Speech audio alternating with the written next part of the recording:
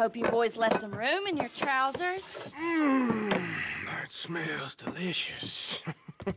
the food don't smell too bad neither. Oh, stop it, you!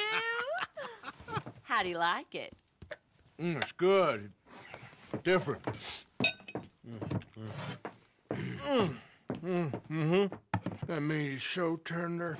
Mm, you know what? This place used to be a pig farm when we was when we were kids. Before we lost our ma and pa. Horrible business. Horrible. But we still got each other, ain't that right, honey pie?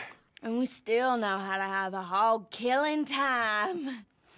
Here, here, that's for you. Yeah. There. yeah. Mm. Mm. Mm. Mm. Where are my manners? Drinks. Yeah, I could definitely use a drink.